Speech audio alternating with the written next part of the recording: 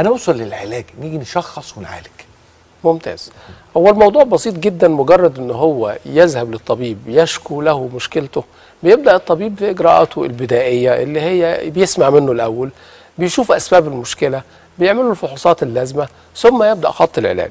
و... وإحنا بنزف بشرى لكل الرجال بلا استثناء عشان ما حدش يحس ان هو في مشكلة ان علاج الضعف الجنسي أصبح دلوقتي ميسور وأصبح ناجح بنسبة 100% ايا كان الوسيلة بقى سواء علاج دوائي سواء علاج جراحي ايا كان الوسيلة فهو لن يوجد على وجه الكرة الأرضية رجل عنده ضعف جنسي إلا ولو علاج. فأنت ابحث مجرد ابحث والطبيب هيساعدك في إيجاد الحل إن شاء الله. ال- الأساليب العلاجية بتتدرج بقى. بالتأكيد هي طبعا زي أي آه، مرض بنبدأ الأول بال- بالعلاجات اللي بنسميها الأقل تدخلا ثم الأكثر تدخلا حتى نصل في النهاية إلى الجراحة.